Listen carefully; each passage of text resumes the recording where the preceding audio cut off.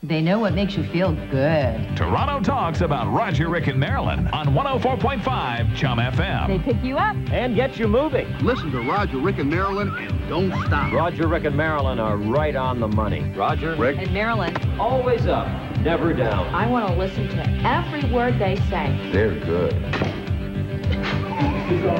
Roger, Rick, and Marilyn and today's best music, Toronto turns to 104.5 Chum FM. they get turned on a lot around here.